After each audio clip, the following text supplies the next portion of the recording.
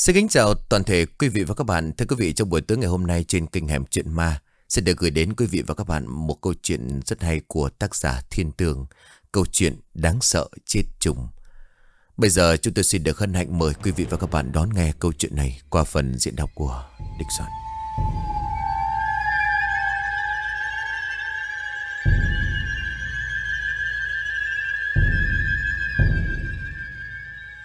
Mới sáng sớm trong một ngôi làng nhỏ Tiếng réo rắt của một người phụ nữ inh ỏi cả góc đường.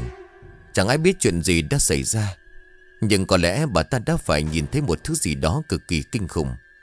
Bà ta chạy một mạch trên đường Mà trăng bạch như người bị ốm lâu ngày.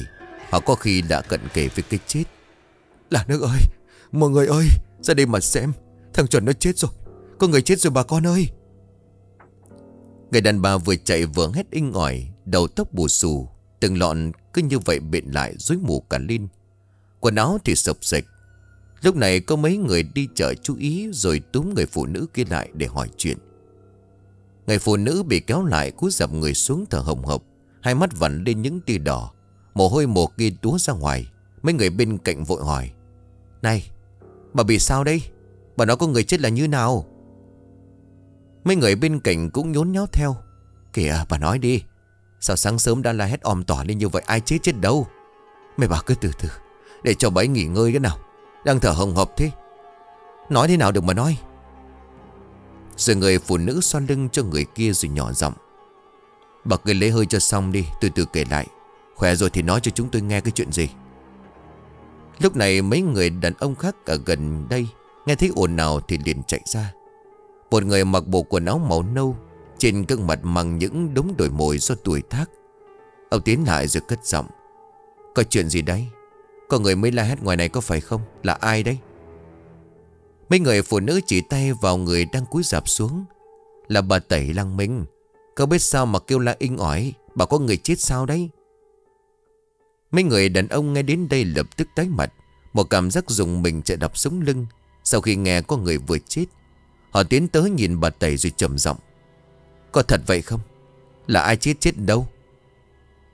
Bà Tẩy tới bây giờ mới lấy lại được hơi Từ từ ngẩng đầu lên, Vừa nhìn thấy sắc mặt của bà, Cả đám liền hoang mang tới trắng bệch.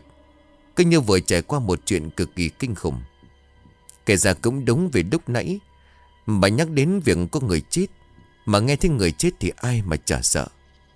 Xong hiện tại đôi mắt của bà tề thoát ra một nỗi hoang mang vô cùng đậm, Khiến mọi người đứng vây quanh chỉ nhìn thấy bà đã phải nuốt nước bọt Chuẩn bị tinh thần để nghe bà nói. Bà đứng thẳng dậy chưa vội nói gì Hai bờ môi run rẩy pha vào nhau. Ai cũng thấy điều này. Bà khẽ xoay người nhìn về phía sau lưng Hướng ánh mắt ra xa Nơi cái cây cổ thụ của làng Rồi quay lại nhìn mọi người. Thằng, thằng chuẩn nó chết rồi. Chết ngoài cây đa Kinh sợ lắm mọi người ra đó mà coi. Chỉ nghe tới đó thôi Đám người mặt mày biến sắc. Một người đàn ông liền lắp bắp. Chết sao? Lại có người chết. Mới có chưa đầy 10 ngày, Lại có thêm người chết. Một người trong đám cất tiếng, Trùng tang. Đây chắc chắn trùng tang không thể nhầm được đâu. Sao mọi người còn nói đây không phải trùng tang nữa sao? Người đàn ông lắc đầu, Không, Sao lại trùng tang? Họ đâu có máu mổ gì với nhau. Xong ông ta quay lại hỏi bà Tẩy, Người chết là thằng chuẩn sao? Có phải nói không? Bà run rẩy nhưng không cần suy nghĩ quá 5 giây trả lời. Chính là thằng bé. Làm sao tôi nhầm được chứ? Cái bộ quần áo đó mấy chiều hôm qua nó còn mặc trên người. Lúc sang nhà tôi lấy đồ về cho mẹ nó. Sự hoang mang càng lúc càng dâng cao, Người đàn ông gật đầu. Nếu vậy đây không thể là trùng tang. Thằng Chuẩn và mấy người trước làm gì có máu mủ với nhau. Trùng tang chỉ xảy ra trong một gia đình, một dòng họ. Sao có thể chuyện 10 người đều không liên quan đến nhau Mà lại gọi là trùng tang? Người lúc nãy liền đáp. Nhưng mà 9 người trước, Người nào cũng chết vào một thời điểm, Đúng 7 giờ 7 phút 7 giây. Đó không phải là trùng sao? Tất cả im lặng bà tẩy bấy giờ cất giọng. Mọi người à Mau ra đưa thằng bé về đi. Tôi đi báo cho bố mẹ biết. Tôi không dám ra đó nữa đâu. Mọi người đồng ý bà tẩy liền rời đi. Còn lại đám người vẫn đứng nhìn nhau. Sự kinh hãi hiện rõ trong từng con mắt, Từng cử chỉ. Không ai giấu được bất cứ một cảm xúc nào. Chỉ chưa đầy 10 ngày mà đã có đến 10 cái chết liên tục diễn ra trong làng. Những cái chết kỳ lạ không lời giải thích Và tất cả đều chết vào 7 giờ 7 phút Và 7 giây tối. Chuyện phải kể lại từ 8 ngày trước, Tại nhà của ông bà hai, Khi đó là vào khoảng 6 giờ 30 phút tối. Ông bà và hai đứa con chuẩn bị cơm nước. Chả đã tối muộn, bụng ai nấy đều đã kêu lên òn ẹt. Ông bà hai được coi là khá giả trong làng. Nên nhà cũng khá rộng, Chia làm các phòng riêng cho hai ông bà và hai đứa con đã lớn. Cộng với đó là một số căn phòng nhỏ khác nữa. Khi đó bà hai và con gái bưng mâm cơm lên nhà rồi cất tiếng gọi. Hai bố con gian cơm đi, Xong cả rồi đấy. Giờ mà cứ nằm mì trong phòng không có chỉ gia phụ cái gì cả. Lúc là khổ cái thân phụ nữ chúng tôi. Từ trong phòng của mình người con trai cất tiếng trả lời. Con nghe rồi, con ra đây. Tại con về muộn mới tắm rửa xong chứ có phải là là không có đâu. Bà hai nghe vậy vẫn nói như trách. Rồi, thưa anh đã, Tôi biết anh đi làm khổ cực không cần phải kể công. Xong rồi lại nhìn về phòng của mình, Bà hai lại không nghe thấy tiếng động tĩnh gì Bà cất tiếng hỏi. Chứ kia ông kia, Ông có nghe tôi nói gì không? Còn không mau ra cơm nước đi. Ở bên trong phòng giọng nói của ông hai điền vang lên. Mấy mẹ con cứ ăn đi, Một lát tôi ra sau. Bà hai liền cảm giảm. Gớm chứ? Tới giờ cơm rồi còn không lo ăn, Còn ăn trước với ăn trả sau. Đúng là Nói tới đây thì bà tặc lưỡi cho qua. Ngồi xuống bên cạnh mâm cơm đã đầy đủ. Nhìn mâm cơm mà bà lại nhớ tới những năm tháng còn nghèo khó. Cơm không đủ ăn, Nhưng mà giờ đây cuộc sống đã thay đổi. Cả nhà không cần phải lo cái ăn cái mặc nữa. Mọi thứ đã đầy đủ. Đây chính là mong ước của cả hai vợ chồng. Ba mẹ con ngồi ăn với nhau tới cả một khoảng thời gian khá lâu, Nhưng vẫn không thấy ông đâu cả. Bà Hoai ngoái đầu nhìn về cửa phòng rồi gọi tiếp. Chứ cái ông kia, Còn không chịu ra ăn để mẹ con tôi dọn dẹp. Cứ ở lì trong phòng vậy hả? Không ra thì lát nữa tự lo đi nhá, Tôi không biết đâu. Không có tiếng trả lời, bà Hoai khó chịu lắm, bà bảo. Trời đất ơi công này chứ, Giờ gọi còn không thèm trả lời thế nào. Hay thật đấy. Xong bà hỏi con trai xem lúc này là mấy giờ. Người con trai liền đưa cánh tay nhìn vào đồng hồ màu bạc. Chiếc đồng hồ kim hiệu nước ngoài khá đắt tiền liền đáp. 7 giờ 5 phút đó mẹ. Nghe vậy thì bà ngay nhăn mặt quay về phòng rồi bảo, Hơn 7 giờ rồi, Mà ăn đi còn làm sổ sách. Hôm nay có nhiều việc lắm đấy, Cứ ở ý đó ra. Vẫn không hề có câu trả lời, Bà hai bực mình nói với con, Mày lại mở cửa xem bố mày làm cái gì trong đó Mà hỏi không có chịu đáp. Người con trai tên Phạn gật đầu Bước đến phòng của bố mẹ rồi gõ cửa. Bố ơi, Bố ra ăn cơm đi. Làm cái gì để lát nữa rồi làm tiếp bố? Vẫn không có tiếng trả lời. Phản nhíu mày đưa tay lên đẩy cửa nhẹ, Nhưng đã bị chút trong.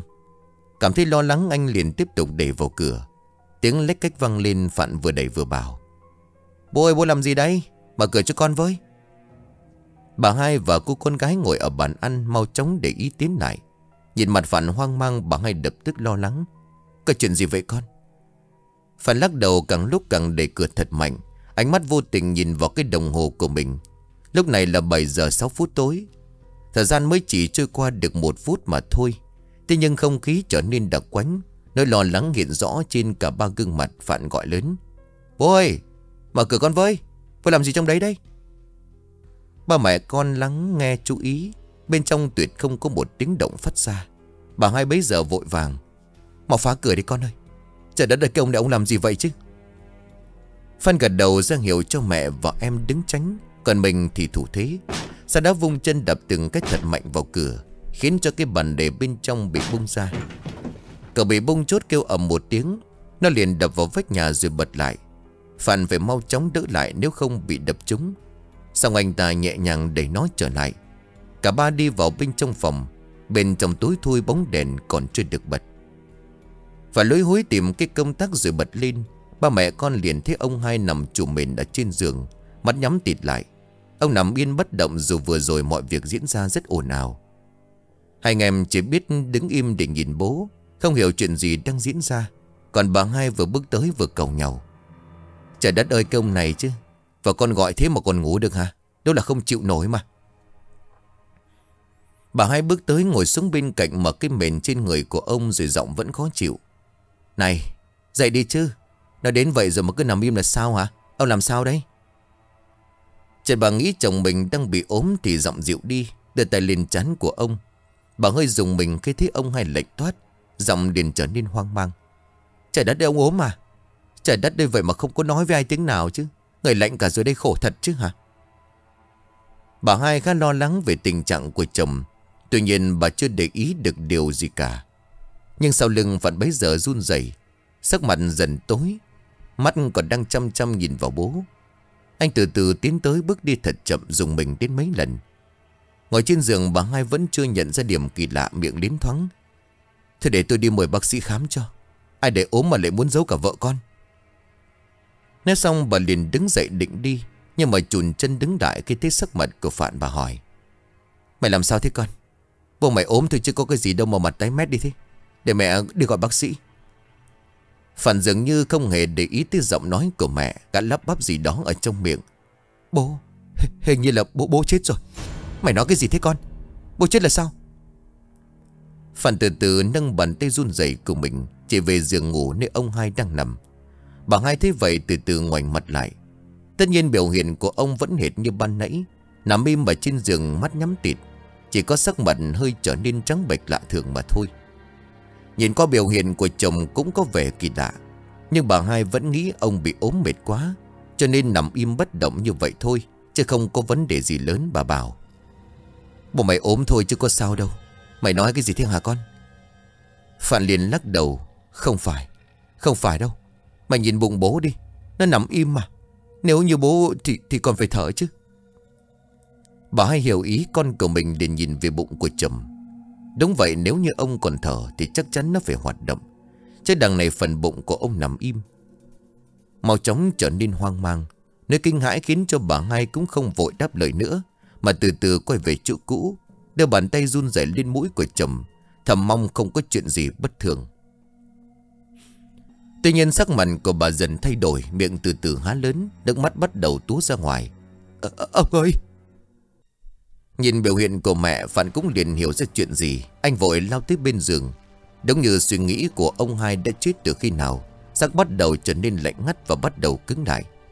Bố ơi, Bố sao thế này? Bố bố tỉnh lại đi bố ơi. Cả ba mẹ con thi nhau gào lên, Nhưng ông hai đã chết. Làm sao có thể tỉnh lại được nữa? Cô con gái chỉ đứng chết chân ở một góc, Mếu máu khóc, Cả người nhũn xuống rồi khủy xuống. Xong cô chợt nhìn lên giường. Ở phía sau xác của bố mình đưa tay lên Mắt chố lớn Giọng tắc ở cổ họng. Trên, trên, trên giường có, có, có người ngồi ở trên giường. Bà hai và cả Phạn giật mình quay lại nhìn cô Và ngay sau đó nhìn về phòng ngủ. Nhưng chẳng hề có ai. Phạn ú ớ hoang mang. Em, em nói gì đấy? Em gái của Phạn tên là Loan. Vừa mới đây khi mà anh trai và mẹ đang gục đầu bên người của ông hai mà khóc Cả hai ở khá gần nhau. Trong khoảnh khắc Loan đã thấy một bóng người lấp ló từ mép giường phía trong Và sau đó nhìn giống như đang ngồi bên cạnh bố của mình. Nhưng tích tắc sau khi mẹ và anh trai ngừng đầu dậy Cái dáng người đó biến mất không còn thấy đâu nữa. Loan vẫn chỉ tay về mép giường bên trong rồi bảo Lúc, lúc nãy có, có người ở đó. Phan lắc đầu nhìn lại một lần nữa rồi đáp Không có ai cả Em sao vậy? À, Ai mới được chứ?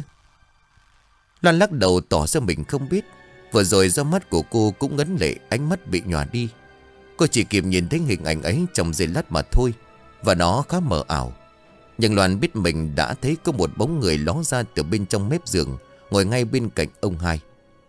Phan và bà hai còn đang ngoái đầu nhìn Loan. Chưa kịp quay lại nhìn Thì cô tiếp tục chỉ tay vào rồi bảo Bố, bố chưa chết bố, bố tỉnh lại rồi kia Hai mẹ con ngồi sát bên giường thêm một phen kinh ngạc. Mất vài giây để Loan hiểu đang nói gì liên liền quay đầu lại. Chưa kịp vui mừng thì nghe ông hai đã tỉnh Thì mặt trở nên sám ngắt Vì ông vẫn nằm yên ở trên giường. Chẳng có lấy một chút hơi thở Sao trở nên cứng đờ một cách kỳ lạ. Phản qua lại nhìn em gái rồi hỏi Em làm sao đây Bố chỉ nói dứt câu, Phản thấy Loan nằm vật trên nền nhà, Mắt nhắm nghiền, cô bất tỉnh ngay lập tức. Không còn cách nào khác phản bế em gái của mình về phòng cho Loan nghỉ ngơi. Còn mình quay trở lại phòng. Dù rất đau đớn trước cái chết của bố, Nhưng hiện tại anh ta phải thật bình tĩnh để đo mọi chuyện. Xong khi vừa nhờ trở lại phòng của bố mẹ, phản giật mình khi vừa bước tới, Đã thấy bà hai đứng chặn ở cửa, đầu cúi gầm Mái tóc lúc nãy còn được cột gọn gàng, Giờ đây đã xóa ra che kín cả mặt. Các ớn lạnh cả người khi thấy mẹ của mình như vậy, Giọng lắp bắp trong sự hoang mang. Mẹ, mẹ làm cái gì vậy? Bà hai đứng yên hai tay buông thõng Đầu cúi xuống để cho tóc che kín cả mặt. Phản cố gắng nhìn thế nào Cũng không thể thấy được chút gì trên gương mặt của bà. Giọng ấp úng liên tục. Mẹ ơi Mẹ sao thế này? Mẹ đừng làm cho con sợ mẹ ơi. Sự sợ hãi dần tăng lên khi bà hai vẫn đứng yên tại chỗ Không nhúc nhích cử động được gì. Phản toát cả mồ hôi từ từ lùi lại không dám đến gần. Mắt dán chặt vào người của mẹ Anh ta cảm nhận người đối diện vô cùng đáng sợ Không khí trong nhà dần trở nên lạnh đi Các thành niên đã lớn tuổi giờ đây mang một vẻ sợ sệt Sợ đến tận cùng Hơi thở cứng cả lại khi thấy người mẹ thân thuộc cứ đứng im trước cửa phòng trong bộ dáng vô cùng đáng sợ. Mẹ, mẹ đừng làm con sợ mà. Nếu sợ bị lên đến đỉnh điểm khi phản cảm thấy sau lưng của mình xuất hiện một làn hơi thở, nó rất lạnh. Cái lạnh như từ chốn âm ti địa phủ thổi về, làm tông gáy dựng đứng cả lên. Và đứng yên không lùi lại, chậm rãi quay đầu ra xong anh đang hét lên một tiếng kinh hoàng khi thấy bà hai đứng sau lưng của mình. Hét xong gã ngồi thụp xuống Người run lên cầm cập Ngoái đầu nhìn về phía cửa phòng của bố mẹ Nhưng không thấy dáng người lúc nãy đứng ở đó Chỉ thấy bà hai bây giờ đứng ngay bên cạnh tỏ ra hoang mang Mặt biến sắc vội hỏi con mày làm sao thế hả con Mẹ đây mà mẹ, mẹ đâu có làm gì đâu mà mày sợ dữ vậy. Biểu hiện của bà hai hiện tại rất bình thường Phản không còn cảm thấy sợ người phụ nữ trước mặt. Cố gắng thở dốc lấy lại bình tĩnh miệng hỏi Mẹ đi đâu về vậy? Còn tưởng mẹ ở trong phòng với bố chứ? Bà hai cúi xuống đỡ con mà nói Giọng hết sức đau xót Mẹ đi gọi người ta tới xem bố con thế nào. Trời đất ơi sao ông ấy lại thành ra như vậy Chứ khổ quá đi con ơi. Phản nghe vậy thì gật đầu chống tay xuống nền nhà Để người cố gắng đứng dậy. Sự sợ hãi vừa rồi khiến cho anh ta gần như mất sạch sức lực.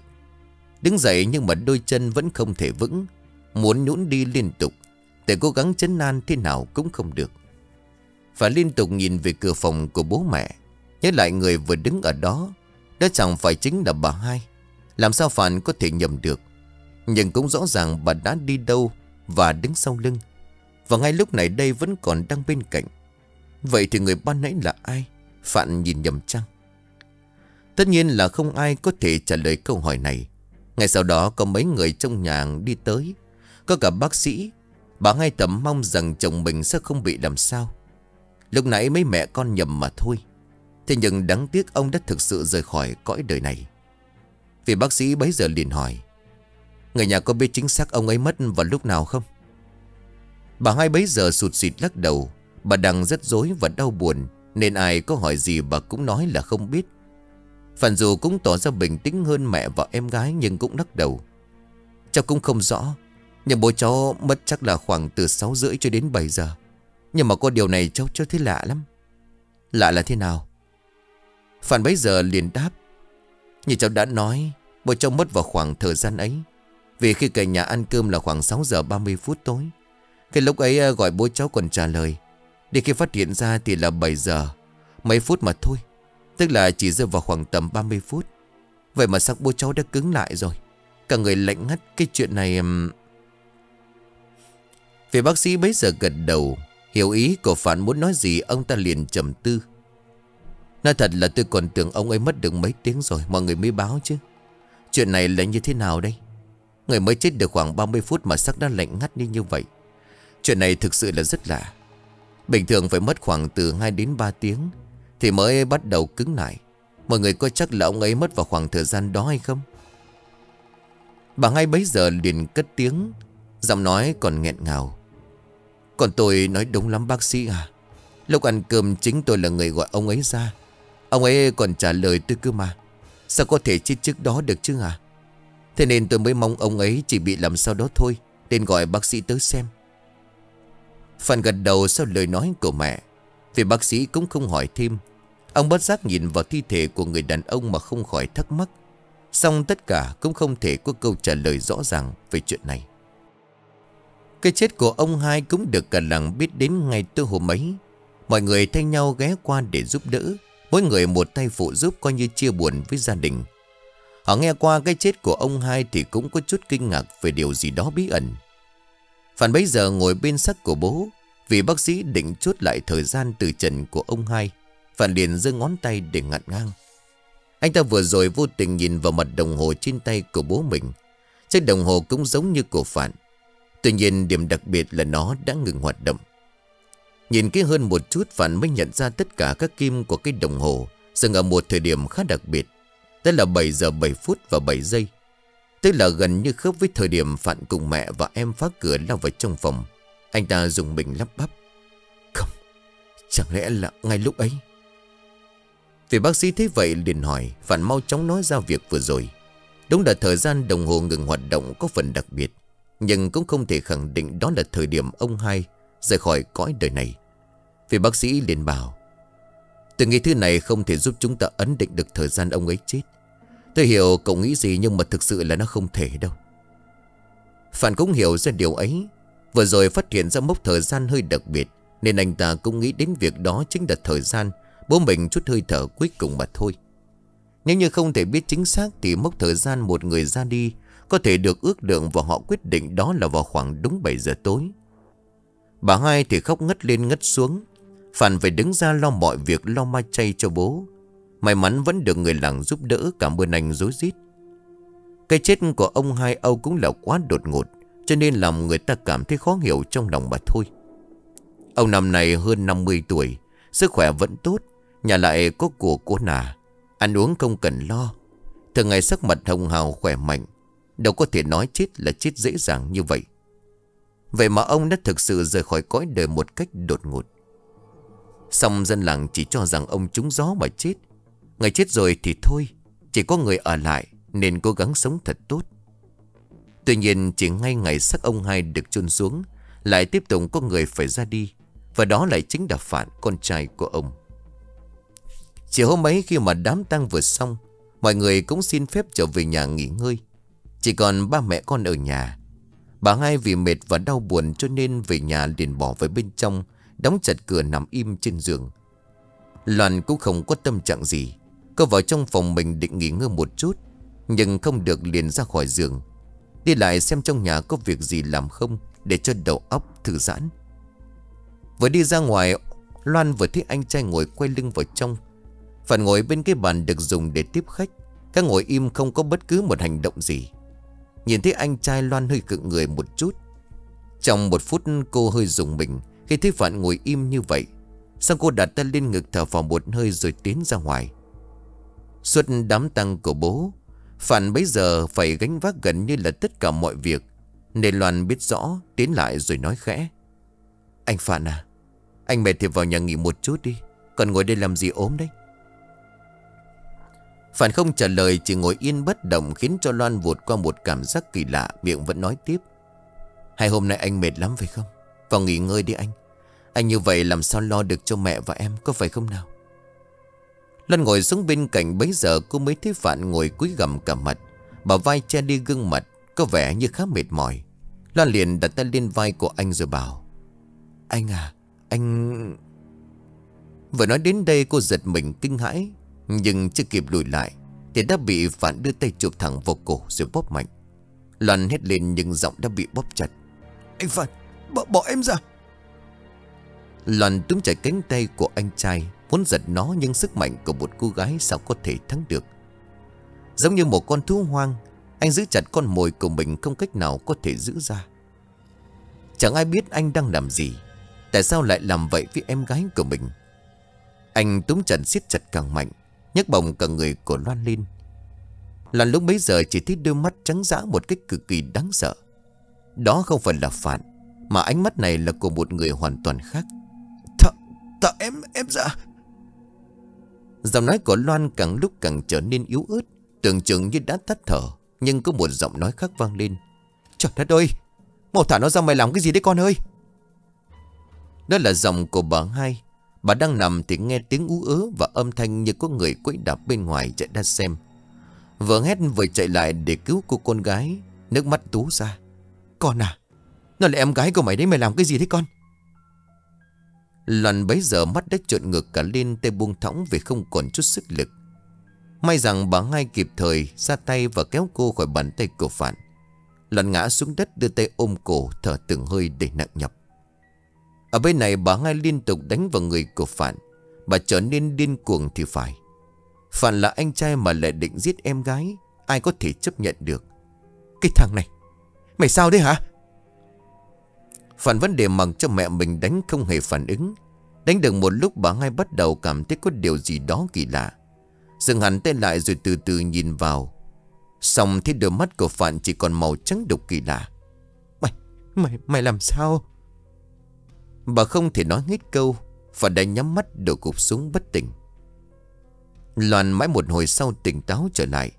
Tay vẫn còn ôm cổ Vì ở đó vẫn còn in rõ năm dấu ngón tay của cô như là bầm tím sau màn bóp cổ vừa rồi. Nhiệt phản nằm im một chỗ hai mẹ con không biết phải làm sao. Loan rất sợ không dám động vào người anh trai Vì sợ một lần nữa bị phản túm lấy cổ của mình. Bà hai bấy giờ hỏi Làm sao mà thằng Phạn nó bóp cổ mày vậy con? Con, con không biết. Lúc ấy con ra thấy anh đang ngồi ở bàn. Con nói anh vào nghỉ ngơi đi Thì tự nhiên anh túm lấy cổ con rồi bóp con sợ lắm. Cả người của Loan run lên bẩn bật. Bà hai phải đỡ đích con gái để chấn an. Xong sự sợ hãi khi nhìn Phạn không hề giảm đi được chút nào. Cả không dám đưa gã vào trong nhà, Mà chỉ để anh nằm đó, Khi nào tỉnh lại thì tính tiếp. Tuy vậy, nhưng hai mẹ con vẫn ngồi ở trong nhà, Gần vị trí Phạn nằm để quan sát. Chờ cho Phạn tỉnh dậy, Tuy nhiên cả hai đều không biết khi anh ta tỉnh lại. Mọi chuyện có tồi tệ như lúc nãy hay không? Hai người cứ như vậy ngồi im, không dám rời đi làm việc khác. Ánh mắt lo lắng nhìn Phạn. Nhưng đã rất lâu mà Phạn không hề tỉnh lại. Đến lúc tối sầm, Loan và bà hai dựa người vào nhau thiếp đi lúc nào không biết.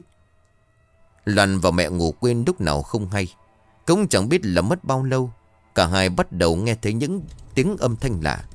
Cứ như có thứ gì đó đang bị cháy. Dù vậy, có muốn tỉnh lại vẫn không được. Đầu óc lờ mờ nửa tỉnh nửa mê, Mắt nhắm tịt không mở ra được. Phải đến khi tiếng lửa cháy trở nên rừng rực Nghe rất rõ. Bên cạnh đó còn có tiếng khóc thút thít của một người nào đó Thì hai mẹ con mới bắt đầu tỉnh táo trở lại. Liếc mắt nhìn chung quanh bà hai hỏi Tiếng, tiếng gì đấy? Trời lúc này đã rất tối Đèn điện trong nhà chưa được bật Nhưng mà từ đâu đó một làn ánh sáng đỏ rực chuyển tới. Loan và mẹ hoang mang nhìn nhau Cố gắng tìm xem ánh sáng từ đâu phát ra Và cả hai nhận ra đó là từ bên phải của căn nhà. Vội nhìn ra phía trước. Phản bấy giờ tỉnh lại từ khi nào và đã bỏ đi đâu không biết. Hai mẹ con vội vã lao ra. Nhìn sang bên tay phải rồi đứng sững người. Cơ thể dần dần nhũn đi khi ở góc sân. Ngọn lửa hừng ngực cháy. Tiếng lửa cháy rừng rực nghe đến chát chú. Ngọn lửa cuồn cuộn rực lên trong đôi mắt của cả hai người, một già một trẻ. Nó đang ôm trọn lấy một cơ thể người. Mùi khói kèm theo cả mùi khét lẹt chuyển tới. Bà hai vừa nhìn thấy chưa quá 5 giây đang ngất lịm. Đợi cùng cả người xuống. Trước khi ngất bà chỉ kịp rú lên một câu. Trời đất ơi, Con tôi. Đúng như vậy, Kẻ đang bị ngọn lửa phủ kín toàn thân chính là Phạn. Vì ngoài anh ta ra thì còn ai vào đây được nữa? Nhưng mà tại sao Phạn lại làm vậy? Tại sao anh ta phải tự thiêu bản thân? Chẳng lẽ đó là vì cái chết của bố hay sao? Hay chỉ là một tai nạn Lúc đang làm gì đó? Hai mẹ con thân là phụ nữ nhìn thấy cảnh này cũng chẳng thể làm gì. Loan thì còn tỉnh táo một chút, Chứ bà hai đã trợn mắt nhũn cả người.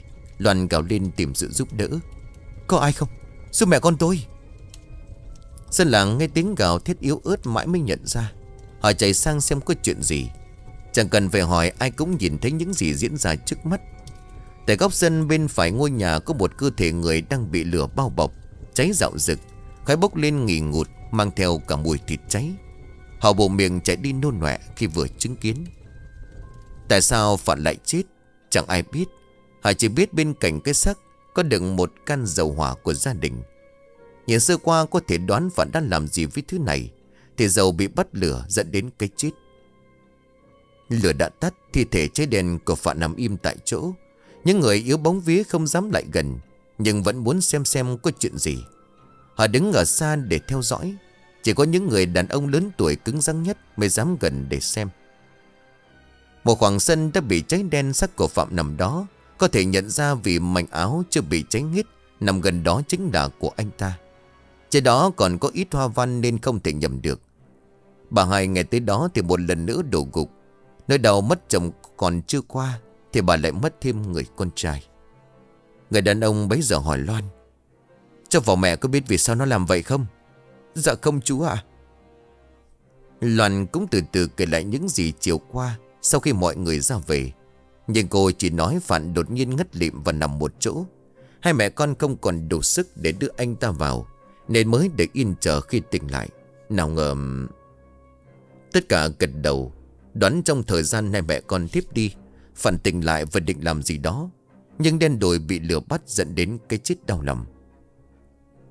Nhưng một người khác vừa nhìn thấy gì đó ở dưới đất Sát bên vách nhà Chỉ tay vào đó rồi bảo Mọi người nhìn xem Đó là cái đồng hồ phải không? Loan nhận ra ngay đó là đồng hồ của anh trai thì bảo Đó, đó là đồng hồ của anh cháu. Mọi người gật đầu cầm cái đồng hồ lên Ông quán là người nhặt nó lên Nhìn cái đồng hồ rồi liếc mắt sang Phạn rồi thắc mắc Nó làm cái gì mà lại tháo đồng hồ ra như thế? Đó cũng là thắc mắc của tất cả mọi người. Họ không biết trước khi bị lửa thiêu chết Phần cần làm gì mà phải tháo đồng hồ, Mà vốn bình thường vẫn luôn đeo trên tay. Tuy nhiên lại không cất đặt cẩn thận ở đâu đó, Như là phòng hay là đơn giản, Là bỏ vào trong túi quần, Mà lại đập nó ở bên cạnh vách nhà. Tất cả đều có chung thắc mắc, Không ai trả lời được. Ông quán nhìn lại mặt đồng hồ còn mới Ông nghĩ nó cũng nằm gần vị trí Phạn bị thiêu cháy bàn nãy. Nhưng không hề lửa táp vào. Nhìn nó rất sạch, Xong ông chợt nhíu mày rồi lầm bầm đọc.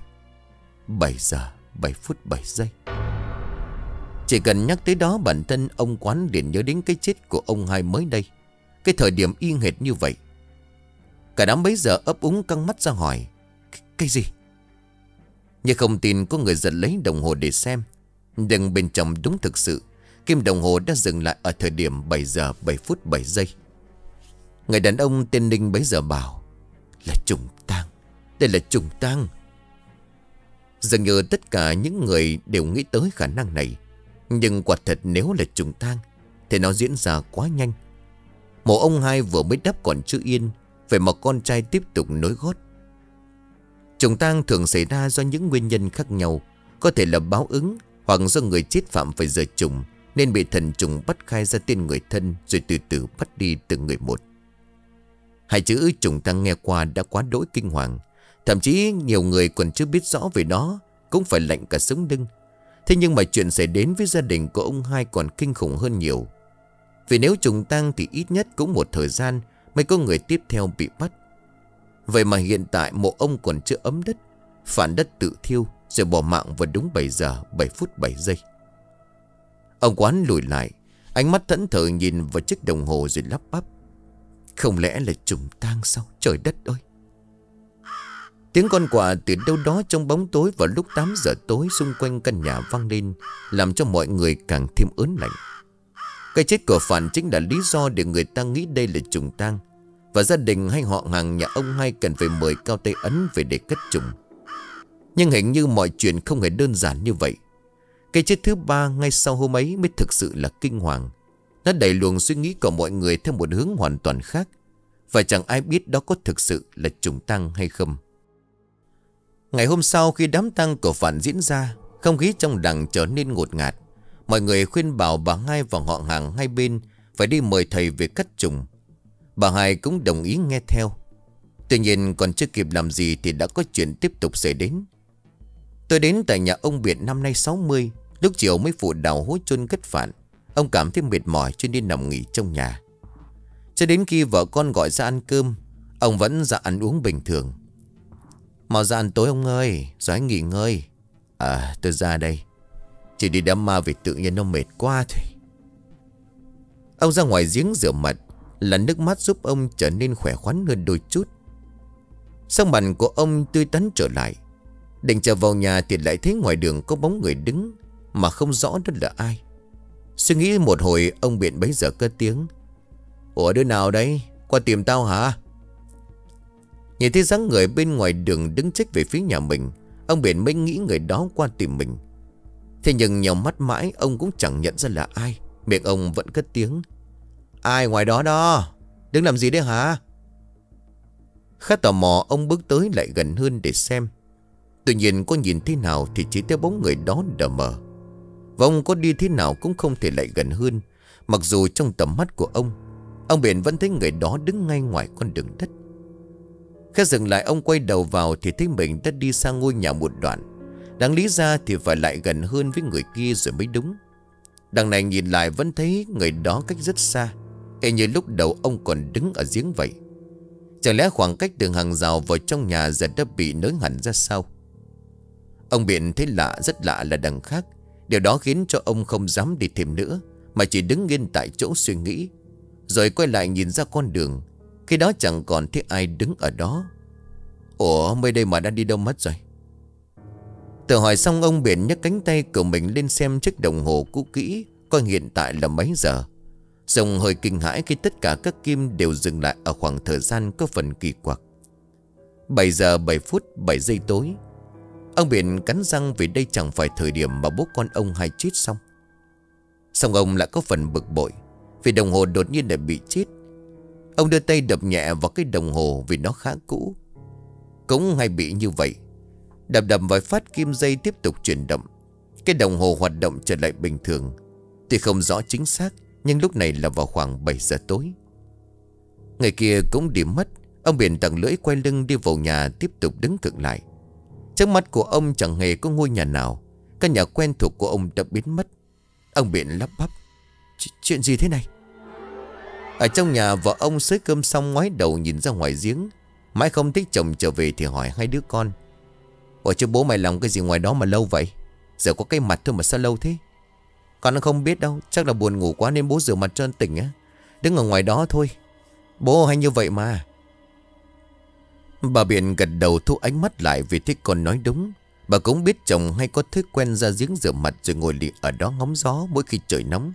Xong bà lại thấy lạ vì giờ có phải mùa hè đâu. Trời khá mát mẹ ông Biện ngồi ngoài đó làm gì. Định đưa xe xem xong người con trai lại cản. Thì kệ bố đi mẹ. Giờ bố lại mắng cho đó, Lát bố ăn xong được mà.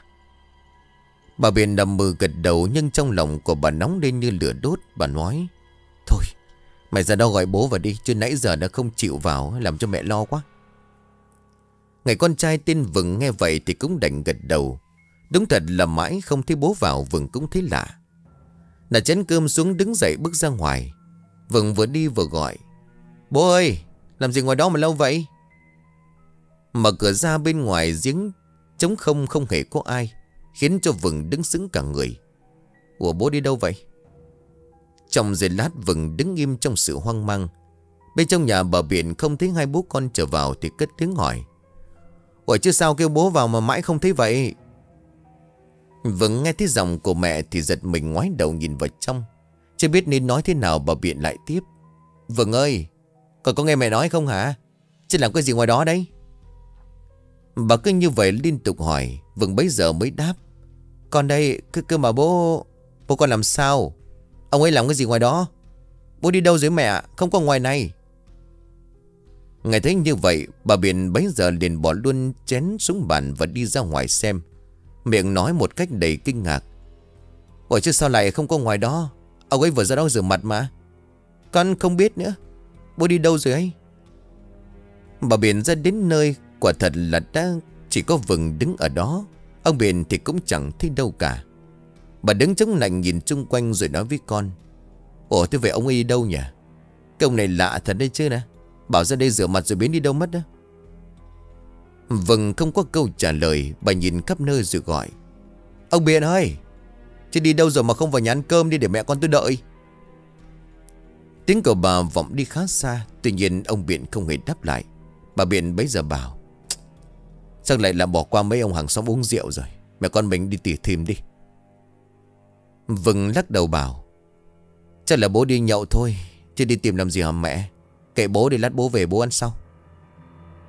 Bà Biện tuy muốn đi tìm chồng, Nhưng tính ra lâu lâu chồng mới đi nhậu bên ngoài Cho nên cũng bỏ qua. Tiếp tục trở về để ăn uống. Vậy mà đến mãi 10 giờ tối vẫn chưa thấy về. Lúc này quá lo lắng, Mấy mẹ con mới chia nhau đi tìm. Sợ có khi lại say quá mò về trúng gió nằm ngất ở đâu. Thế nhưng quảng hết mấy nhà ông bạn thân thiết, Thì họ đều bảo hôm nay không có nhậu nhẹt gì cả Và cũng không gặp ông Biện từ tối. Sự lo lắng bắt đầu dâng lên, Mấy mẹ con trở nên hoảng loạn. Mấy ông bà hàng xóm cũng kéo nhau ra xem có chuyện gì. Ông quán lúc bấy giờ bảo, Chồng ấy đi đâu làm gì Mà bây giờ mẹ con kéo nhau đi tìm? Chúng tôi đâu biết đâu.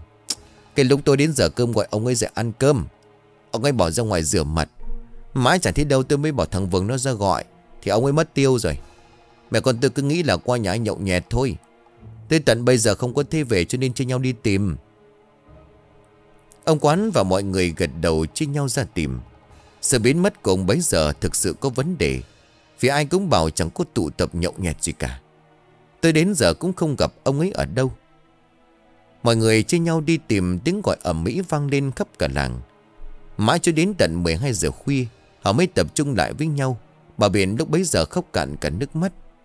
Trời đất cái ông này ông đi đâu được chứ hả? Ông ơi là ông ông mà xảy ra cái chuyện gì? Mẹ con tôi biết sống sao đi ông? Ông quán và mọi người phải thay nhau chấn an. Bà vai đứa bình tĩnh đi. Chắc ông ấy đi đâu đó thôi, không có chuyện gì đâu. Dòng của ông vừa dứt Thì từ đằng sau lưng có tiếng ấp úng của người khác. Mà mọi người ơi, Xem kìa Quay lại một cách vội vã, Ông quán nhìn thấy một người đàn ông trẻ tuổi hơn mình Đang hướng mắt về đằng xa. Ông ta chừng chừng nhìn thứ gì đó. Mọi người bên cạnh bắt đầu nhìn theo. Ông quán quay lại, Bên tai vẫn nghe giọng người kia lắp bắp. Ch, Cháy rồi. Quay đầu tới nơi trước mắt ông quán, Phía cách đây không xa lắm. Đúng là có một ngọn lửa, Nó đang từ từ bùng lên một cách mạnh mẽ. Ông giật mình một cái mặt biến sắc Máy mới ổn định lại được vội vàng. Cháy rồi. Mau dập lửa đi. Bà Biển và hai đứa con nhanh chóng quay đầu. Cả ba nhìn thấy nơi đang bốc cháy chính là hàng rào trước nhà mình. Nó vừa bị ai đó phóng hỏa bốc cháy. Ba mẹ con chỉ biết đứng chết chân chẳng phản ứng được gì. Chỉ có vừng mau chóng tỉnh táo rồi chạy theo mọi người. Ở gần đó, người đàn ông ban nãy đứng nghiêm Cả người run rẩy, đôi mắt Nhìn về thẳng phía trước. Ông ta cố nâng cánh tay của mình lên thêm lần nữa. Đó, đó, đó, đó chẳng phải là là là dáng người sao hả? Bà Biển và cô con gái ngoái đầu nhìn ra Rồi quay lại quan sát ngọn lửa. Tìm kiếm người đàn ông kia đang rắn chặt mắt Và rồi cả hai cụp xuống ôm nhau vì sợ. Ở phía xa trên cái cầm dựng làm hàng rào Ngọn lửa đang cháy nghi ngút ngày một lớn. Nó cuồn cuộn như thể là muốn nuốt chừng tất cả mọi thứ. Ở bên trong ánh lửa phừng phừng là một dáng người đang nằm ngửa Mặt hướng lên trên Tiếng da thịt cháy xì xèo Mà ở tận bên này vẫn có thể nghe được. Chỉ vừa nhìn thấy điều ấy, Hai mẹ con và kể cả người đàn ông kia thấy một điều chẳng lành.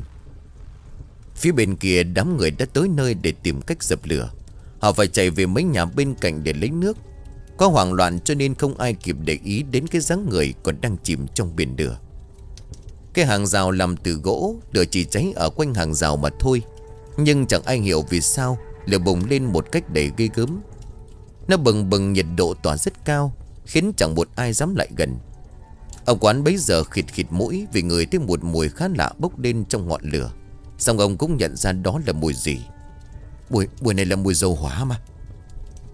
Người thấy cái mùi dầu hỏa khá là nồng đậm. Vậy chắc chắn vụ cháy này không hề đơn giản Mà là có người làm ra. Nhưng là ai mới được chứ? Và mục đích là gì?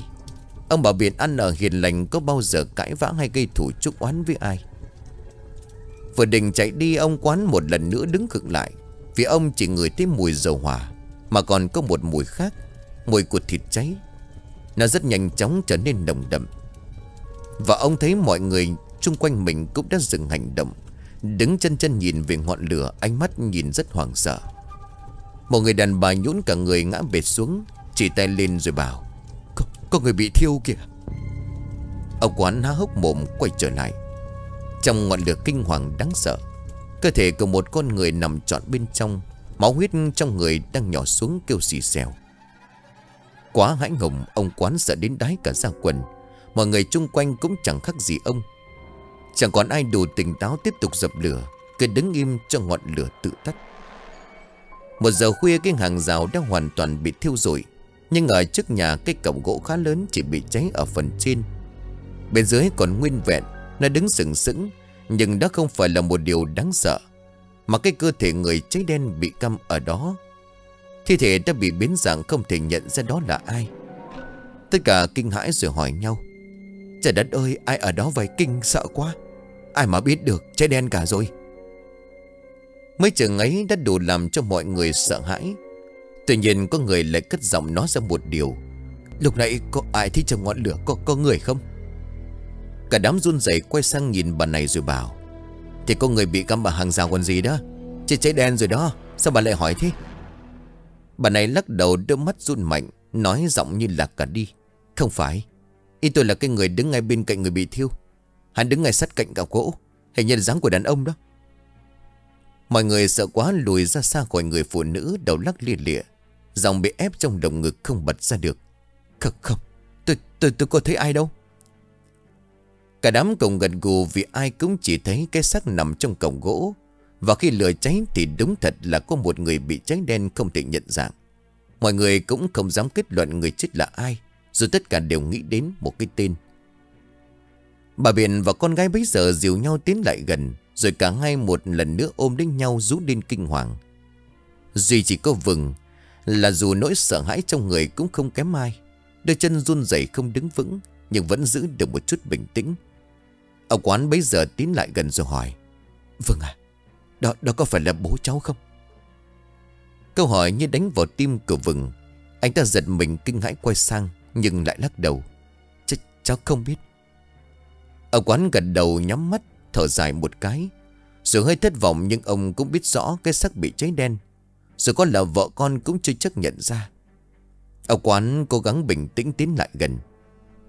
Bước tới gần cái xác cháy đen, Kể cả quần áo mặc trên người cũng bị thiêu rụi. Rất khó để nhận diện xem đó có phải là ông Biện không. Mấy người đằng sau cất tiếng Bà quán ơi, Có nhận ra ai không? Ông quán thở dài lắc đầu quay lại, Không mọi người ơi, Cháy đen cả rồi chẳng nhận ra ai cả. Đám người cứ nhìn nhau xì xào bàn tán. Còn đông quán thì đột nhiên cứng ngậm Lửa vượt tắt nhiệt độ từ sau lưng ông vẫn còn được ngực. Tuy nhiên, ông lại thấy sống lưng của mình lạnh toát Và cảm giác có người đứng phía sau lưng của mình. Nhìn biểu hiện của mọi người đằng kia, Có lẽ sau ông chẳng có ai Ngoài cái xác còn đang bị cắm trên cổng gỗ. Ông quay đầu nhìn lại một cách đầy kinh hãi. May mà sau lưng của ông không hề có ai. Tuy chỉ có chừng ấy thôi Đã khiến ông như muốn đứng tim tại chỗ. Không dám đứng đây nữa, Ông quán toan bỏ đi về phía mọi người.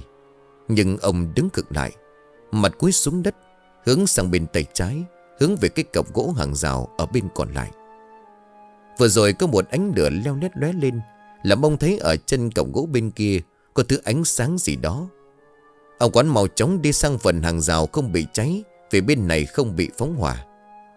Tới nơi ông cúi xuống nhặt cái thứ kia Vừa nhìn thấy nó, đó là một cái đồng hồ cũ. Nhưng vừa nhìn là nhận ra ngay đó là của ông viện, Vì ông đã đeo nhiều năm. Để cho chắc ăn, Ông quán cầm nó đưa cho mẹ con của bà Biện rồi hỏi, Mấy mẹ con xem đây có phải là đồng hồ của ông ấy không? Vâng và em của mình chỉ nhìn sơ qua là đã nhận ra. Còn bà Biện thì vừa đưa tay cầm lấy, bà vừa gào lên, Trời đất ơi, Tại sao lại thế này ông ơi? Tiếng khóc đến xé lòng của bà làm cho mọi người cũng không ngăn được dòng nước mắt. Như vậy cái đồng hồ ấy như là một thứ để xác nhận rằng ông Biện mới chết.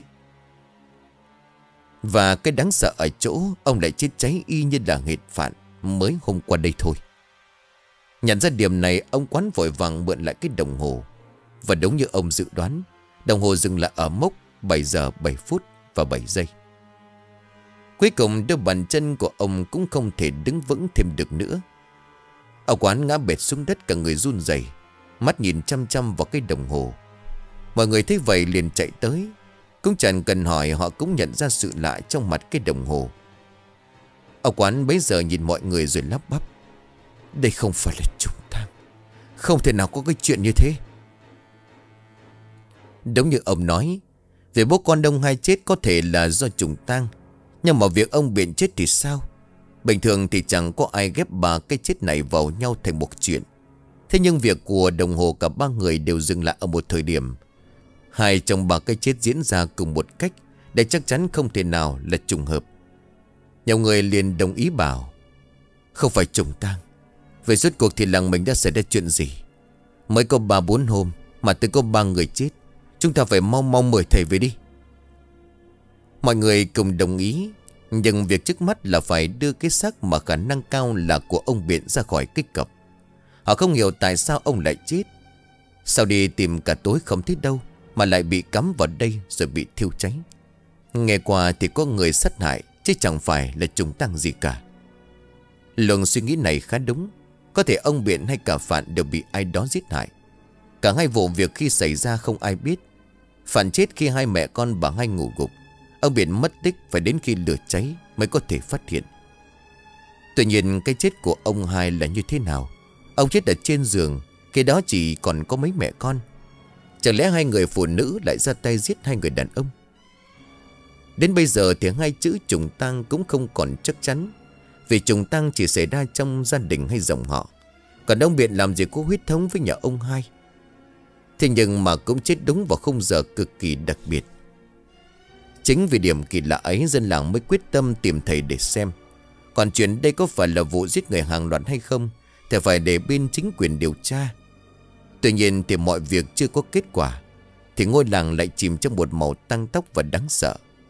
Khi chỉ ngay đêm hôm sau, Có người tiếp tục phải chết. Kể cả khi ấy, họ đã được mời thầy về để xem. Chiều hôm ấy họ mời được thầy Duẩn về để xem trong làng có chuyện gì. Chỉ vừa mới đến nơi đã nhận ra được trong làng dày đặc tử khí. Ít nhất là phải có ba người chết thì mới tạo nên một vầng đen bao phủ khắp làng đến như vậy. Chuyện trùng tăng mà mọi nghĩ, người nghĩ cũng được kể ra. Thầy Duẩn gật đầu xong rồi bảo. ngày xưa qua thì có thể là trùng tăng, trùng rất là nặng. ngày chết sau chỉ cách người chết trước chưa quá một ngày. Nhưng mà người chết thứ ba thì lại không cùng huyết thống sao? Ông quán bấy giờ gật đầu đáp thay. Dạ đúng rồi thưa thầy. Ông biết là người mới chết đêm qua, Sao còn đang nằm ở nhà chưa đem chôn? Đợi thầy qua xem thế nào rồi mới dám quyết định. Ông ấy không hề có máu mù gì với nhà bố con ông hai cả. Thầy Duẩn vuốt râu gật đầu, Ánh mắt đầy sự căng thẳng. Cả đời hành nghề cắt trùng giải nghiệp. Thế nhưng vẫn chưa từng nghe qua câu chuyện trùng tăng nào kỳ dị như vậy. Thầy tự lầm bầm trong đầu suy nghĩ cho kỹ và nghĩ ra hai khả năng. Thứ nhất khả năng ông Biện và gia đình dòng họ nhà ông hai không hẳn là không có huyết thống. Có thể trước đây có con cháu của cả hai gia đình vụng trộm gì đó với nhau và có con. Có thể chuyện đó xảy ra từ lâu cho nên không ai biết. Và gốc gác của ông Biện có khi lại có liên quan đến nhà ông hai. Ở thời nào cũng vậy, cái chuyện ngoại tình ân ái với nhau rồi có con là chuyện khi nào cũng có. Chỉ là có giấu được hay không mà thôi. Có thể năm xưa gốc gác của cả hai bên đã có thể giấu được. Thế giờ thì mọi chuyện đã là quá khứ. Tất cả chìm trong bóng tối, Không ai hay biết gì. Chính vì vậy mà cả ba chiếc trùng cũng có lý. Tuy nhiên thầy vẫn nghĩ tới khả năng thứ hai. Đây là ba người kia chỉ có bố con ông hai là có chung dòng máu. Cả đông biển thì vẫn là người ngoài. Trùng tăng thường được biết đến Việc người chết đầu tiên phạm phải giờ trùng ngay tới câu chuyện hiện tại cũng đúng là như vậy. Ông hai chết đầu tiên, Đồng hồ dừng lại ở mốc 7 giờ 7 phút 7 giây. Đó là khả năng chính là thời điểm ông đi đời. Vậy đó là giờ thất sát hay sao? Thầy dần bấp đốt ngón tay tính toán Nhưng không thể ra được. Chuyện đó bây giờ có phải trùng tăng hay không Thì tạm thời các qua một bên. Thầy dần nghĩ tới việc khác. Trùng tăng là khi một người chết đi phạm giờ trùng về thần trùng bắt khai tên của người thân tiếp tục kéo đi. Có thể ông Hải đã không chịu đựng được sự tra tấn Mà khai ra tên của Phạn.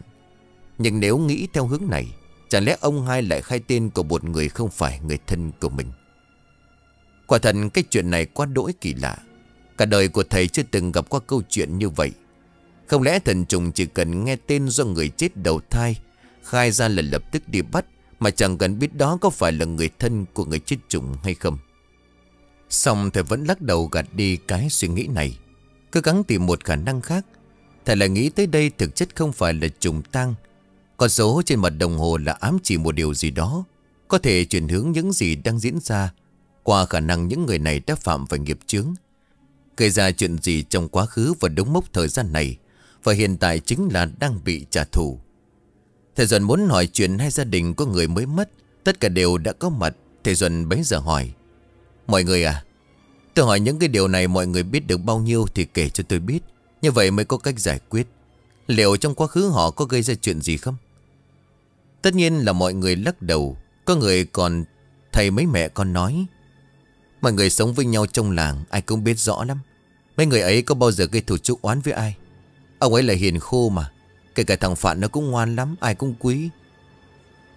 Thầy Duẩn gật đầu xong vẫn chờ câu trả lời Của mấy người thân trong nhà người vừa mất. Bà hai bấy giờ bảo, Tôi quen ông ấy từ nhỏ, Trước đây chúng tôi cũng nghèo khổ thầy à Đến khi lấy nhau về mới cùng nhau vươn lên như ngày hôm nay. Ấy vậy mà ông ấy lại bỏ mẹ con tôi mà đi Rồi cả thằng bé nhà tôi nữa. Bà hai òa khóc rồi lại nói tiếp, Ông ấy một đời sống tốt, Luôn quan tâm mọi người. Kể cả người thân hay người ngoài, Ông ấy đều hiền lắm. Chính vì vậy tôi mới đem lòng yêu thương rồi đồng ý lấy. Chứ nào có gây ra chuyện gì bao giờ đâu. Thầy Duẩn im lặng lắng nghe. Bà hai kể xong lại đến bà Biện. Tuy nhiên này cũng cho rằng chồng mình và cả bố mẹ ông bà đều rất trong sạch. Mọi người trong làng cũng đồng ý. Câu chuyện lại đi vào trong bế tắc không thể giải thích. Ở quán nhìn thầy rồi hỏi. Thầy à Vậy đây có phải là chuyện trùng tang không? Tôi vẫn chưa trả lời được. Quả thật cái chuyện này có điều gì đó rất lạ. Trùng tăng thì át hẳn mọi người cũng đã biết ít nhiều. Nhưng mà chuyện đang diễn ra lại không đúng với tất cả những gì tôi biết và trải qua. Nơi đó có phải là trùng tăng hay không tôi chưa thể khẳng định. Mong rằng mọi người cho tôi thời gian. Mọi người có phần thất vọng, Tuy nhiên cũng không thể gượng ép thầy. Chỉ mong sẽ không có chuyện gì xảy ra. Nhưng đêm muộn hôm ấy Chính ông quán là người phải đối mặt Với một sự việc vô cùng khủng khiếp. Nhóm quán nằm ngay cây đa cổ thụ của làng Đêm nằm ngủ, ông lại có thói quen mở cửa sổ. Chỉ cần mở mắt ra có thể nhìn thấy những cái cây ở cách đó không xa. Mọi việc diễn ra trong làng khiến ông quán chẳng thể ngủ ngon. Cứ nhắm mắt lại ông thích trong đầu những cái chết đầy đáng sợ. Trần trọng mãi không ngồi được, Ông quán ngồi dậy tựa lưng vào thành giường, Đưa mắt nhìn ra cửa sổ. Bóng cây đà tầm tối chỉ có chút ánh sáng hắt vào. Ban đầu ông không để ý chỉ mãi suy nghĩ về chuyện của làng Nhưng một lúc sau, ông dừng mọi suy nghĩ nhau mắt nhìn thẳng về cây đa Ở đó có điều gì đó rất lạ mà bây giờ ông mới nhận ra Ở phía xa từng nhánh cây chỉ có một màu đen, Vì trời quá tối trông khá quen thuộc nhưng giờ ông lại thấy cái bóng đen mà nãy giờ ông vẫn cho rằng là của tán lá. Giờ lại mang hình thù rất khác. tức là một dáng người đang treo cổ thì đúng hơn. Ở quán thấy mặt miệng há lớn độ cả hai hàm răng. Đôi mắt muốn lồi cả ra ngoài vì sợ hãi. Xong cố gắng định thần lại để chạy ra hô hoán mọi người. Nhưng vừa quay lưng đi chưa kịp ra khỏi giường. Ông nhìn thấy từ xa cây đa bụng lên một luồng ánh sáng. Ở quán đứng hình, run rẩy quay đầu nhìn về cây đa Cái dáng người lúc nãy ông nhìn thấy giờ đây đã chìm trong ngọn lửa Cả người bốc cháy bừng bừng trong đêm tối cái hình ảnh đó đã làm cho lý trí của người đàn ông mất đi. Chân tay mềm nhũn không thể đứng vững được. Ông ngã bịch xuống đất miệng thở hồng hộc như đang hấp hối. Sẽ đến cả sức để đứng dậy ông còn chẳng có, Chỉ nói chi ra ngoài để hô hoán mọi người. Nhưng hình như chuyện này cũng không phải chỉ riêng ông thấy. Một lúc sau bên ngoài đã có tiếng ồn nào từ nhiều hướng. Nó phát ra từ hướng cây đa cổ thụ. Ở quán bấy giờ có thể lấy lại bình tĩnh. Chống tay đỡ người dậy nhìn ra cửa sổ. Đúng là cả làng gần như tập trung ở đó, Có cả bóng dáng thầy Duẩn đã có mặt. Ông đưa tay lên lau mồ hôi ở trên mặt. Vừa rồi sẽ đến muốn tiểu luôn trong quần lúc nào không hay. Phải thay bộ đồ khác rồi mới đi ra ngoài. Tiếng bàn tán ồn ào ở phía xa, ở đó có đông người nhưng ông quán vẫn không dám bước nhanh. Mắt ông nhìn vào cái cơ thể còn đang dì rào cháy ở dưới đất. Nó đã bị rơi xuống từ khi nào. Cái xác được phát hiện của ông Hoài. Và con ông thì hiện tại gục dưới đất mà gào khóc. Khóc đến cạn cả nước mắt. Một lần nữa người ta phát hiện đồng hồ địa bàn cũng được đem ra đây. Và hệt như bà cây trước. Thời gian dừng lại ở mốc 7 giờ 7 giây 7 phút. Mọi thứ vượt qua sức tưởng tượng và hiểu biết của mọi người, Kể cả thầy Duẩn cũng chấn động trước câu chuyện này Thời gian màu chóng trôi đi cho đến hiện tại Ngày thứ 9 trong làng diễn ra 10 cái chết. Điểm chung đều chết vào cùng một thời điểm. Bên cạnh thi thể luôn có một cái đồng hồ. 9 trong số 10 người chết đều do bị lửa thiêu cháy. Đã có người không chịu được mà bỏ làng ra đi. Họ không dám mà lại thêm bất cứ một ngày nào. Thầy Duẩn suốt mấy hôm ở lại làng gầy dọc đi, Tóc bạc trắng hoàn toàn, Cố gắng khống chế Nhưng không thể nào giải quyết được chuyện này. Thầy đã khử cắt trùng nhưng không có hiệu quả. Người chết vẫn cứ tăng lên. Người này vừa chết đi Thì còn chưa kịp phản ứng, Lại có người khác tiếp tục nằm xuống. Tất cả đều chìm trong một vẻ bất lực. Ông quán bấy giờ ngẩng mặt lên trời gào lớn. Ông trời à Rồi cậu chúng tôi làm gì? Ta làm gì để ông nỡ đối xử với chúng tôi vậy chứ? Rồi sau đó ông quỳ xuống trước mặt thầy Duẩn. Thưa thầy Thầy làm ơn tìm cách giúp làng con. Chứ con sợ quá, cái thiên này cả làng đều chết mất thầy.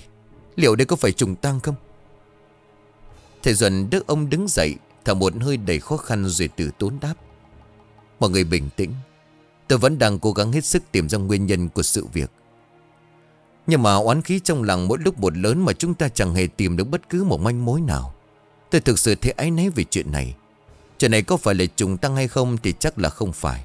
Vì trùng tăng không thể xảy ra ở nhiều gia đình khác nhau. Họ chỉ có điểm chung để chết cùng một thời điểm, Nên chúng ta chỉ có thể nói Là họ chết chung mà thôi.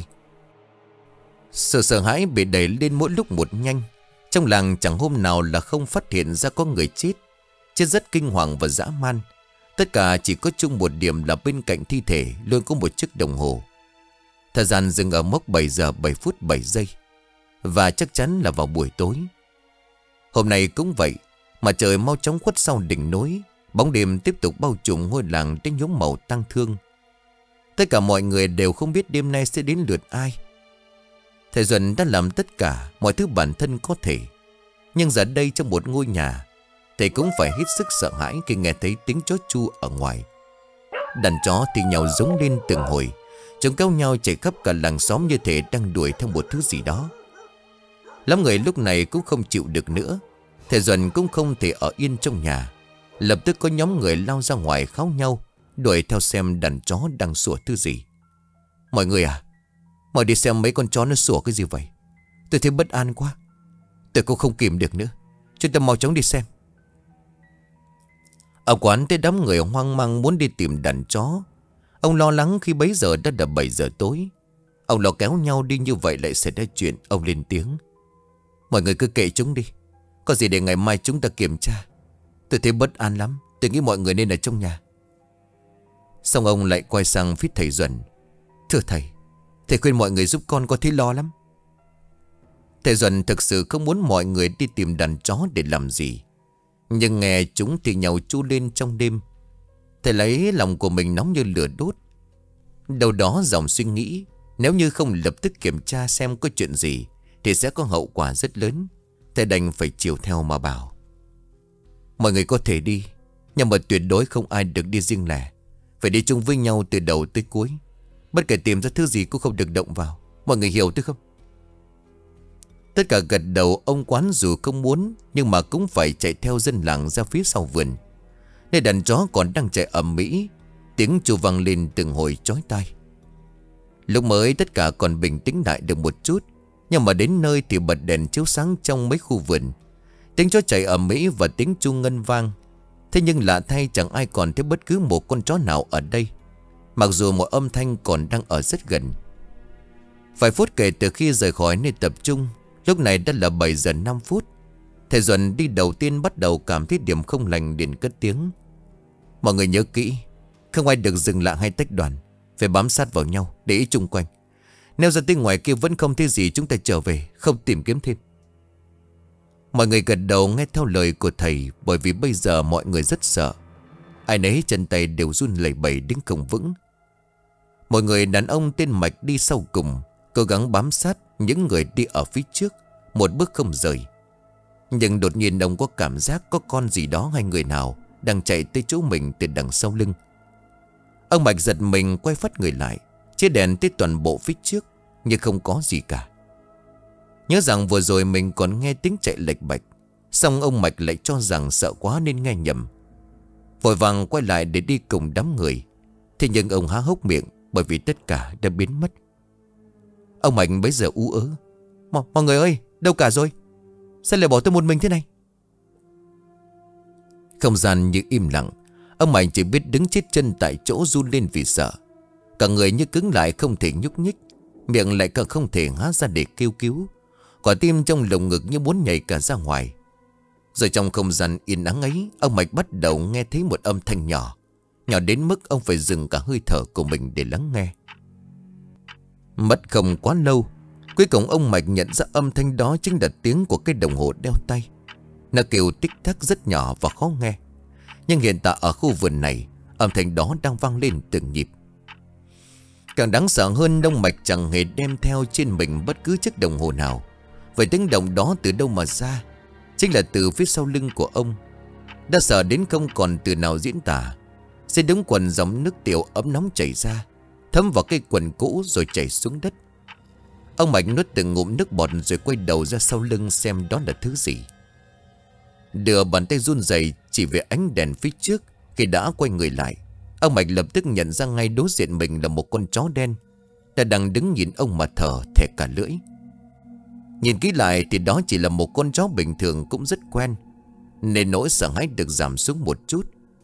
Con chó cứ đứng thở từng hơi, Nhìn người đàn ông rồi lại chúi mũi nhìn xuống đất Để hít hà một cái gì đó.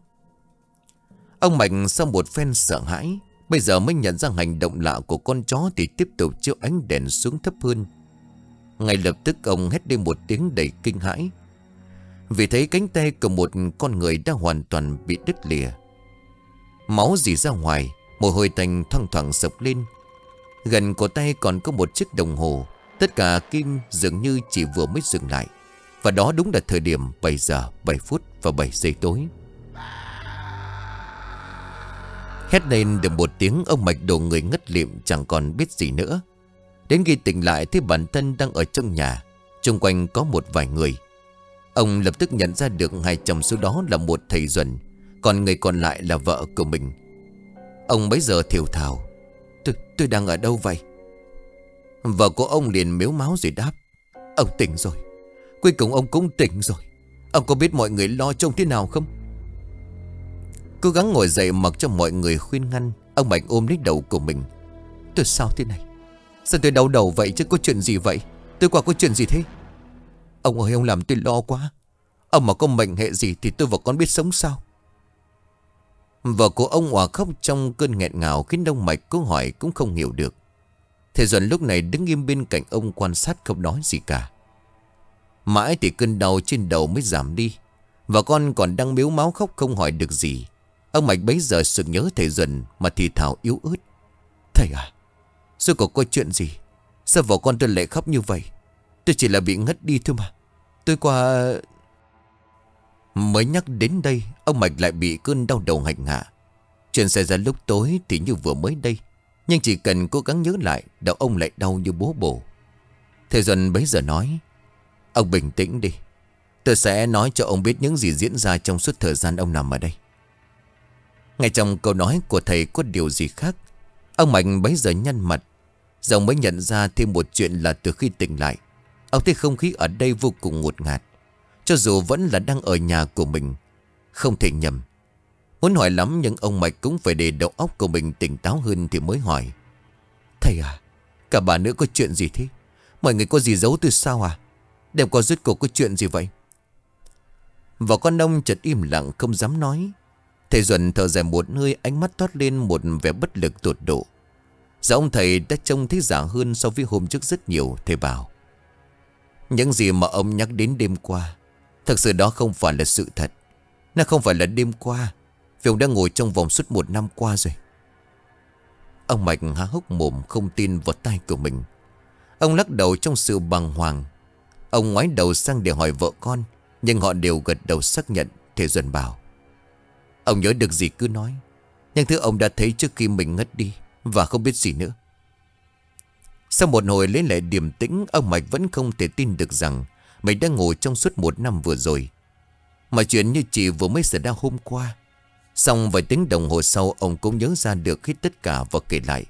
Thầy Duẩn bấy giờ lắc đầu. Đêm đó thực sự là tiếng cho chu Chu rất lâu. Trông chạy nhảy như muốn đuổi Theo một thứ gì đó đúng như lời ông nói. Kể cả việc một cái xác bị tìm thấy trong tình trạng không còn nguyên vẹn. Nhưng đó là vào ngày hôm sau. Cả đêm hôm ấy không hề có ai ra khỏi nhà, Kể cả tôi. Điều đó có nghĩa tất cả những gì ông thấy Đều là có một thứ gì đó dẫn dụ. Nhưng mà ông không chết, Gia đình ông vẫn sống tới tận bây giờ. Còn họ Thầy dần bỏ lừng câu nói Và vào con ông Mạch cúi mặt. Ông Mạch nhận ra điều gì đó liền hỏi, Còn họ thì nói họ sao? Cắn chặt răng một cái thầy Duẩn trầm giọng, Còn họ, Tất cả những người sinh sống trong làng này đều đã chết. Không còn một ai sống sót ngoài gia đình ông. Họ chết vào đúng 7 giờ 7 phút 7 giây tối. Không gian như tĩnh đặng trong suốt một thời gian Kể từ lúc thầy Duẩn nói ra những gì Diễn ra trong một năm cho ông Mạch. Thầy Duẩn cũng nói hôm đó ông Mạch đột nhiên chạy ra khỏi nhà. Vừa mới tới cổng thì bị níu lại kéo vào, Nhưng ông nhất quyết muốn đi tìm xem đàn chó đang thủa thứ gì. Xong đột nhiên ông đổ cụp xuống bất tỉnh, Đúng vào thời điểm chết trùng trong suốt thời gian vừa qua. Và trong một năm ông hôn mê Mọi người trong làng đều đã chết Chết không còn một ai, Ngoại trừ gia đình của ông. Ông Mạch run rẩy, ánh mắt bằng hoàng, Người nhũn ra không còn chút sức lực. Nhưng ông vẫn cố gắng nói, Thầy à Thế rốt cuộc chúng tôi gặp phải chuyện gì? Tại sao cả làng tôi phải chết? Sao mọi người Thầy Duẩn lắc đầu cất giọng một cách bất lực. Tôi chỉ có thể nói đó là trả nghiệp. Nhưng mà những gì tôi biết được chỉ có thế. Còn về việc tại sao gia đình ông sống sót được qua chuyện này? Có lẽ do nguồn gốc sâu xa của gia đình không có liên quan, Nên thoát nạn. Trong suốt một năm qua, đêm nào cũng có người chết. Người thì bị phanh thây, Người thì bị treo cổ rồi đốt cháy, Không thể nhận dạng. Tôi thấy mình thực sự vô dụng. Gần như mọi thứ đã kết thúc. Kết thúc trong sự đau khổ tột độ, Trong sự bất lực của những người có liên quan, Những người từng sống trong ngôi làng yên bình, huận hòa. Nhưng giờ đây mọi thứ đã thay đổi. Chỉ còn lại một màu u tối kinh người mỗi khi đêm về. Sau khi khỏe lại, ông Mạch đi dạo một vòng quanh làng. Những ngôi nhà vẫn còn đó nhưng chẳng có một bóng người nào xuất hiện. Nhà cửa bỏ không toát ra một màu ai oán và thê lương. Lèo tiểu bước trên con đường làng quen thuộc, Nhìn những ngôi nhà bỏ không Không bóng người. Ông Mạch ngước mắt nhìn trời tự hỏi. Ông hỏi xem tại sao Tại sao mọi người đều phải chết? Chết rất đau đớn, Chết trong sự kinh hoàng vào đúng 7 giờ 7 phút 7 giây tối. Thầy Duẩn cũng đã rời đi. Thầy chỉ tự biết trách mình không thể cứu lấy dù là một người. Cũng khuyên gia đình ông Mạch rời khỏi nơi đây, Nhưng ông vẫn nhất quyết ở lại đây để tìm hiểu ra sự thật, Xem trước kia ở đây đã phạm phải cái nghiệp gì. Ông Mạnh để mấy mẹ con rời đi, Còn mình thì ở lại mảnh đất này. Mảnh đất của những linh hồn vất vưởng nên ông quyết tâm dành quãng đời còn lại Để tìm ra sự thật. Kể từ đó ngôi làng u ám Chỉ lâu lâu xuất hiện hình dáng Của một người đàn ông làng vàng Mỗi khi màn đêm buông xuống. Và khi đó là đều vào lúc 7 giờ 7 phút tối.